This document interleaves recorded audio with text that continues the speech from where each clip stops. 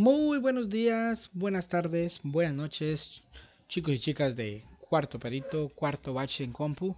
Hoy tendremos nuestro curso de programación y pues hoy tenemos a bien ver el tema número 2 y pues el tema según su folleto es el siguiente, los ciclos for en C++. Eh, los ciclos for son los que se conocen como estructura de control de flujo cíclicas o simplemente estructuras cíclicas estos ciclos, como su nombre se lo sugiere, nos permite ejecutar una o varias líneas de código de forma iterativa, conociendo un valor específico inicial, otro valor final.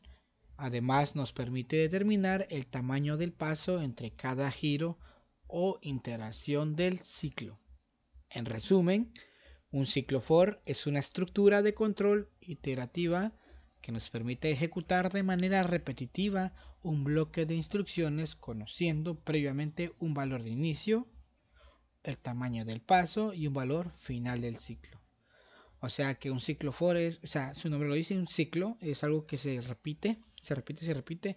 Lo que hace es repetir el código varias veces, pero uno tiene el control de cuántas veces se va a repetir y a qué paso debe ir. ¿Cómo funciona? Para comprender mejor el funcionamiento del ciclo for, pongamos un ejemplo. supongamos que queremos mostrar los números pares, mostrar los números pares entre el 50 y el 100, entre el 50 y el 100. Y si imaginamos un poco, pues, sería esto: 50, 52, 54, 56, 58, 60, 96, 98, hasta llegar al 100. Pero, ¿cómo podemos verificar? Tenemos entonces los componentes necesarios para nuestro ciclo for. O sea, imaginemos que yo quiero que imprima los números pares desde el 50 hasta el 100. ¿Cómo lo haría el sistema? ¿Cómo lo haría la programación? ¿Cómo lo haría yo? Pues yo lo puedo pues escribirlo, pero, pero si imagínense si hay algo que, que, exista que pueda hacerlo por nosotros en programación y sí, a esto se le conocen como ciclos for. Porque nosotros le decimos que imprima, imprima y, pero le damos ciertos eh, fundamentos. Dice, como podemos verificar, tenemos entonces los componentes necesarios para nuestro ciclo for. Tenemos un valor inicial. Nuestro, eh, nuestro ciclo for eh, se compone de un valor inicial, el paso y el valor final. Ahorita les explico eso. Entonces, ¿cuál sería el valor inicial acá en este caso? Pues sería 50, ya que iniciaría en 50. Entonces, también tenemos también un valor final que sería el valor 100. O sea, nuestro ciclo comenzaría en 50 y terminaría en 100. Ese sería nuestro valor final. Y tenemos un tamaño de paso. ¿Cuál sería el tamaño de paso? Pues que es 2. Porque como es imprimir los números pares, es 2. Si yo le digo imprimir eh, la secuencia de acá 3, 3, 3, pues cambio el 2 por el 3. O si quiero que imprima del cada 1, 1, 1, pues simplemente el paso sería 1. Pero si escribo 2, quiere decir que cada dos veces pues se va a imprimir el paso. Estamos ahora en capacidad de determinar los componentes esenciales para un ciclo for. La sintaxis del ciclo for es simple en C++. En realidad en la mayoría de los lenguajes de alto nivel es incluso muy similar.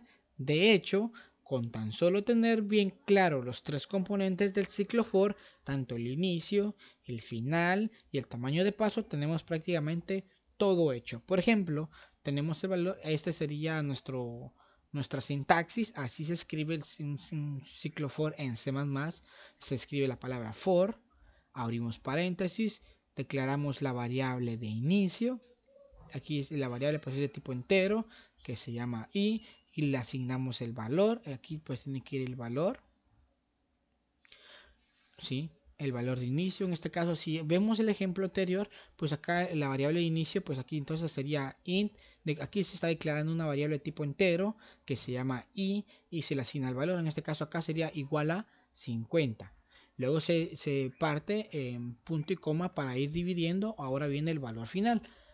La misma variable que ya había, que ya había declarado acá, solo que acá no, ya no la vuelvo a declarar porque aquí ya está declarada. La vuelvo a llamar acá y le digo que i va a ser menor o igual al valor final. En este caso el valor final sería 100. Recuerda que es el inicial que inicia en 50 y aquí el valor final que sería 100 donde i cuando sea menor o igual a 50, pues eh, a 100, perdón, eh, va a parar. Y acá el paso, en donde i va a ser igual a i más paso. ¿sí? ¿Qué quiere decir eso? Que va a ir en aumento. Aquí va a ir en aumento nuestro, nuestro paso. ¿sí? ¿sí? Porque imaginémonos que i acá en este caso, cuando inició, pues como es 50 aquí i no valía nada, pero cuando le asigné un valor, ya le dije que valía i es igual a 50. Entonces quiere decir que si cambiamos el i por el 50 sería 50 es igual a i que es 50 más paso. ¿Cuánto sería el paso? Más 2. Entonces 50 más 2 sería que 52. Ahora i va a valer cuánto? 52. Entonces así es posible, y así es como se da el paso. Y acá pues el bloque de instrucciones lo que va a realizar durante esa secuencia, ¿sí? ¿Qué es lo que va, quiero que yo realice cuando vaya pasando el bucle? O sea, el bucle cuando vaya ejecutándose. Ejemplo, aquí tenemos nuestro ejemplo 1, mostrar en pantalla los números pares. Dice, vamos a retomar el, ejemplo anterior, donde deseábamos sacar los números pares entre el número 50 y el 100. Es un ejemplo muy sencillo con el que nos aseguramos de haber comprendido bien el anterior. Bueno, solución, ejemplo 1, dice. Como pudimos ver anteriormente, tenemos entonces el valor inicial para nuestro ciclo, que es el 50, el valor final, que es el 100.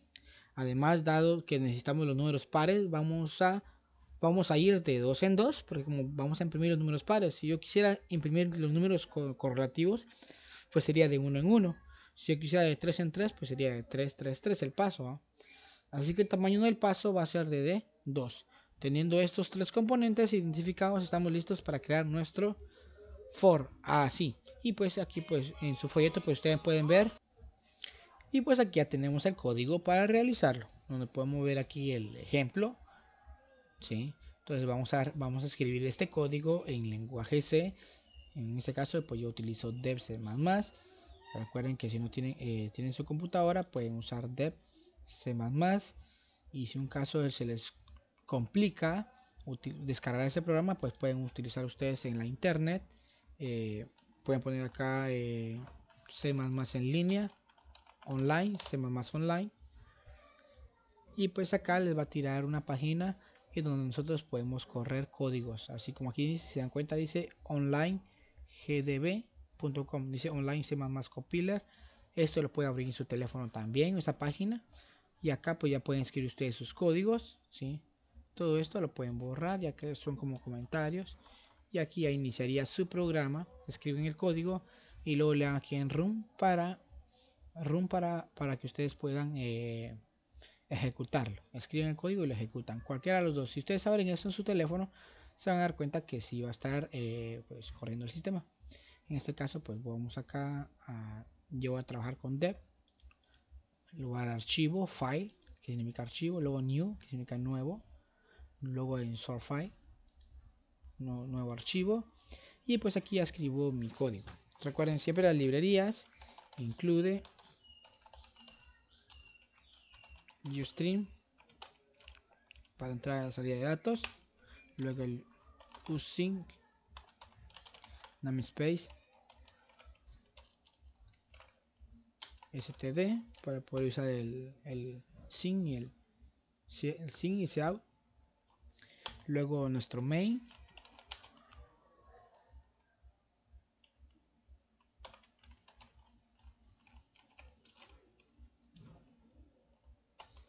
Y las llaves donde va a comenzar nuestro programa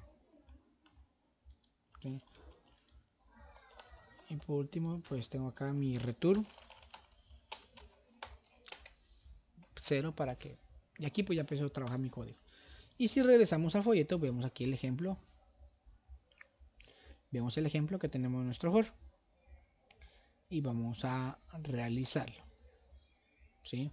entonces puedo hacer esto, puedo declarar acá mi y si yo quisiera declararlo antes, porque recuerdo normalmente al principio del programa pues se puede declarar las variables que utilizo, en este caso yo lo puedo hacer de esta forma, puedo decir como que decirle int y es igual a 0. Aquí declaré una variable de tipo, tipo entero que se llama i y le dije que va a tener un valor de 0. Aquí tiene un valor. Ahora vengo, voy a crear mi ciclo for. El ciclo for, pues se hace aquí, se escribe la palabra for, luego paréntesis, o también la parte inicial. Recuerde que vamos a, vamos, a, vamos a imprimir los números pares del 50 al 100. Entonces dijimos que cuál la parte inicial sería el 50 for, donde i arriba pues la declaré y le di un valor de 0. Acá pues i ya va a tener un valor de i va a valer 50. Eh, Luego vengo, pongo punto y coma para ir dividiendo. Ahora viene la parte final. Y pues aquí dije que va a iniciar en 50. Ahora viene la parte final. Lo divido en punto y coma y le digo donde i va a ser menor o igual a 100. Luego punto y coma. Y ahorita viene el paso. Como quiero que vaya, que vaya el paso? Quiero que vaya de, de, dos en dos. Entonces le digo cuando i va a ser, i va a ser igual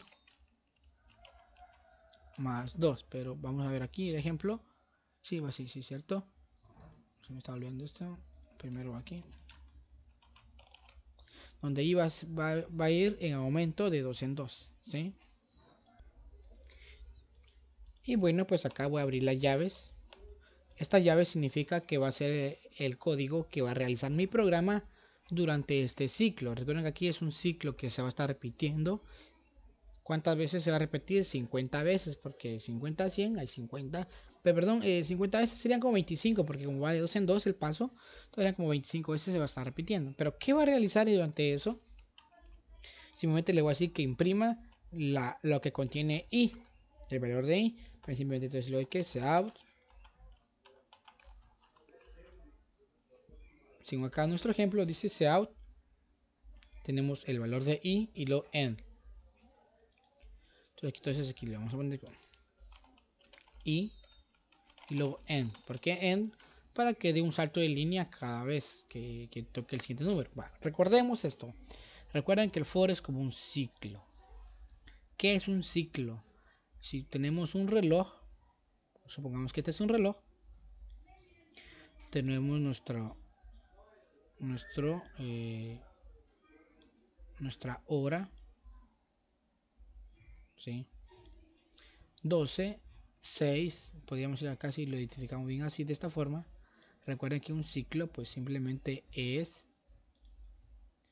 eh, lo que tarda en dar una vuelta. Por ejemplo, si aquí comienza a las 12, llega a la vuelta y se completa acá. Al llegar a las 12, eso sería un ciclo. Se completó una vuelta. Entonces, el ciclo en programación pues simplemente es igual. Es lo que tarda en dar una vuelta. Lo que tarda en dar una vuelta. Eh, en programación. Y eso sería pues de 12. Y que 50 al 51, al 52. Y por cada ciclo va a realizar una cierta acción. Y la acción que va a hacer acá, pues simplemente porque va a imprimir el valor de i. ¿Sí? Y, y vamos a ver acá nuestro programa. Lo voy a ejecutar para que vean ustedes qué es lo que pasa. Copilar y ejecutar pero acá me va a pedir que guarde el archivo voy a poner aquí ejemplo ciclos ejemplo ciclos for 1 guardar. Ahora sí lo se ejecuta el programa y vean qué me hizo acá. Vean cómo me escribió el solito los números pares del 50 hasta el 100 si ven acá dice 50 52 54 56 58 60 62 si me lo imprimió. ¿Y cómo fue hecho eso? Pues por los ciclos. Los ciclos pues tienen un inicio, un final y el paso. Por ejemplo, si yo quiero imprimir los números desde el 1 al 100, pero, pero así correlativos, pues simplemente le digo acá el inicio sería 1, que inicie en 1, que termine en 100. y acá pues como no va a ser pares, sino que voy a, voy a imprimir que, que lo haga así correlativo, solo le digo y más más y más más significa que es i más 1, i más 1, i más 1, o sea que i más 1, por ejemplo, quiere decir esto, de que i cuando i va a 1 y más 1, 2, más 1, 3, entonces quiere decir que va a ir correlativo. Si yo ejecuto este código, vea que lo que pasa, vean, me imprimió los números del 1, 2, 3, 4, 5, 6, 7, 8, 9, 10, correlativos, hasta el 100. Pero si yo quiero que vaya de 3 en 3, ¿cómo sería? Pues simplemente le digo acá entonces en el paso. Ya no sería de 1, sino que sería igual y más 3. Si le pongo acá, que sí que va a ir de 3 en 3. Veamos. 1, 4, 7, 10, 13, 16, 19, 22. Y si le pongo 2,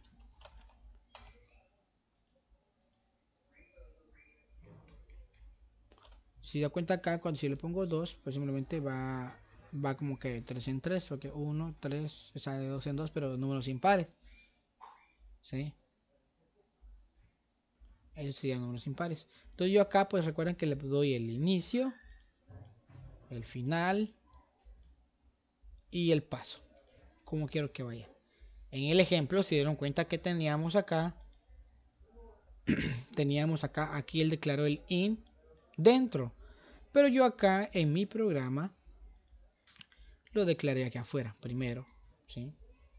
Y luego solo lo mandé a llamar. ¿Podría haberlo declarado acá? Sí, lo podría declarar, pero lo declaré antes, ¿sí? Para llevar un mejor control de nuestros eh, lenguajes. Y bueno, acá pues tenemos nuestro programa, nuestro ejemplo. Y así es como funcionan los ciclos for. Un inicio, un final y el paso. Notemos que al escribir i más 2 es similar a escribir i es igual a i más 2. ¿Sí? Entonces, si, escribimos esto, dice que es similar a escribir esto. ¿Ya? Ejercicio, dice hacer un programa en C++ que escriba los números del 100 al 1. Miren, que escriba los, el programa que escriba, que escriba los números del 100, número 100 al 1. O sea que en lugar de ir en aumento va a ir en decremento. Nuestro inicio que sería 100 y nuestro final 1. ¿Sí? y en lugar de decir i más más que en aumento, sería i menos menos, ¿ya? Que es lo mismo, ¿sí? Recuerda que es en decremento sería en lugar de decir i es, i, es igual, i más, más igual a 1, pues en lugar de i más igual a 1 va a ser i menos a 1. Y acá pues le va a tirar código. Entonces realícenlo y pues espero que también hayan realizado el ejercicio de la semana antepasada que era esto de las fechas. Yo les di la, el seguimiento. Espero que lo hayan terminado. Yo creo que lo tengo aquí guardado. Vamos a ver. Aquí está. ¿sí? yo aquí me quedé en marzo. Ustedes tenían que completarlo cada uno de ellos. Este es el ejemplo el, ejercicio 1 ustedes tenían que ver completado todo esto. Por ejemplo llegar hasta diciembre, en este caso aquí estoy en marzo, abril, mayo, junio, julio, agosto, septiembre, octubre, noviembre, diciembre. Entonces acá voy a cambiar el 3, el 3, ahí se va a hacer el 4, el 5, el 6, el 7, el 8, el 9, el 10, el 11 y el 12. Aquí vamos en marzo. Aquí vamos en, mar en marzo esto. Aquí en abril pues le vamos a dar 59 más los días que trae abril. No sé cuánto trae abril. Abril trae 30 días en nuestra calculadora.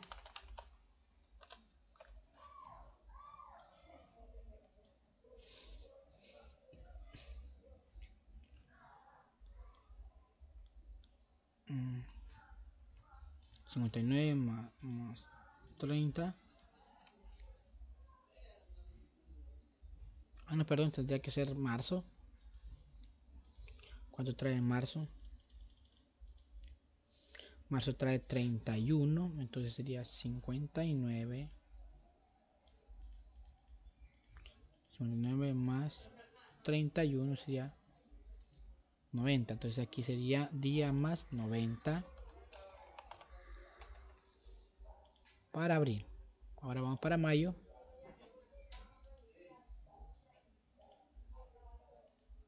Mayo, pues cuánto trae abril, porque vamos a ver abril. O si abril trae 30 aquí en lugar sería no, ahora sería 90 más 30 ¿cuánto es 90 más 30? 90 más 30 a 120 entonces acá sería 120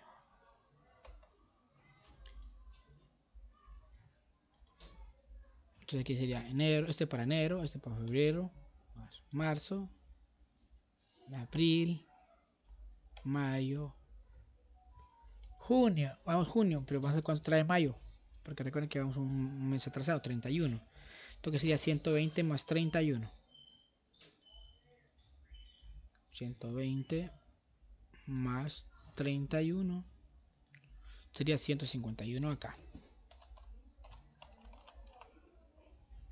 Entonces vamos aquí, aquí sería enero, febrero, marzo, abril, mayo, junio, julio. Estamos con julio. Pero sería junio. ¿Cuántos días trae junio? Trae 30, entonces 151 más 30. Mande.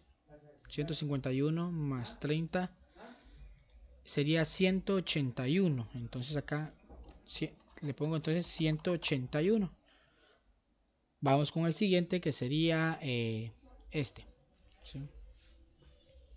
que sería oh, ya me perdí aquí enero febrero marzo abril mayo junio julio agosto sería este, pero sería 181 más lo que tiene julio. Entonces sería 30, sería 31 más 181. 31 más 181 sería 212. 9 pues sería septiembre, acá pues sería lo que trae agosto que trae 31, entonces sería 212 más 31. 212 más 31 sería 243.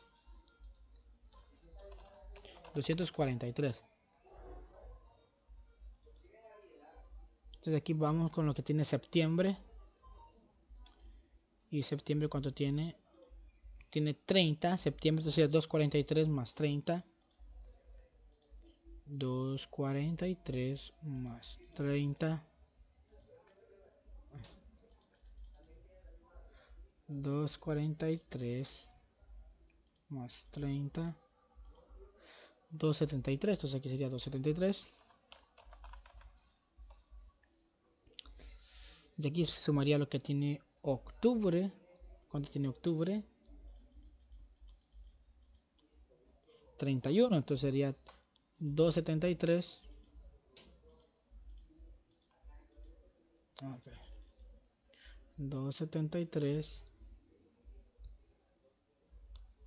ah, ¿cuánto te dijimos que tenía octubre? 31 más 31 aquí sería 304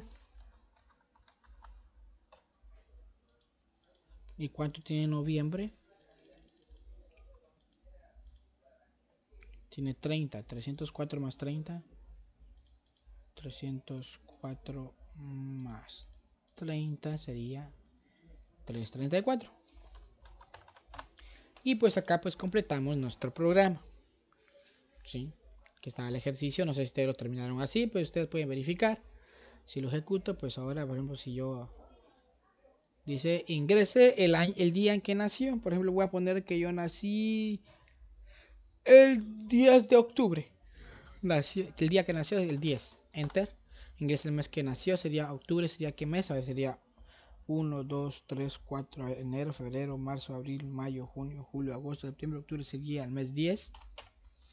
10 del 10. El año en que nació, pues el año 2020. Enter y me dice usted nació el día 283. ¿sí? Se sumo todos los días de los meses, cabal yo nací el día 283 del año 2020. ¿sí? Entonces acá pues ya completé mi programa, se dan cuenta. Esto pues el ejemplo pues fue hecho a base del switch, que es el mes. Y bueno, ahora les queda como como tarea pues realizar el ejercicio 2 eh, este pues está fácil, la verdad está facilísimo. Ustedes solo seguían nada más del ejemplo, hacer unos cuantos cambios y pues mostrar en pantalla esto. Recuerden que pueden utilizar esta página que les mostré. Pueden utilizar esta página para hacer su código acá y correrlo acá. O bien sea para Android. Para Android. Eh, si ustedes tienen teléfono pueden bajar la aplicación para C++. Sería C++. La que les recomiendo pues sería es esta. Coding C++ para trabajar acá desde su teléfono pues acá tenemos una imagen donde vean que si sí, sí, sí, escriben el código y aquí donde dice room pues ejecutan el programa para ver si les funciona. Recuerden escribirlo bien tal como cual está verdad si no no les va a funcionar. Y bueno chicos hasta aquí la clase del día de hoy. Espero que les haya gustado y comprendido entendido un poquito. Nos vemos en el próximo